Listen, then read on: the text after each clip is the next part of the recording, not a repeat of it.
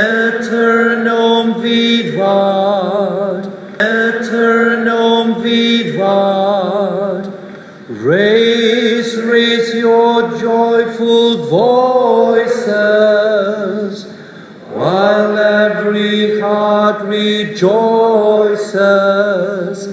Let your joyful strains re-echo. Long life to the brother we love. Once again, let your voices re-echo. Long life and a crown.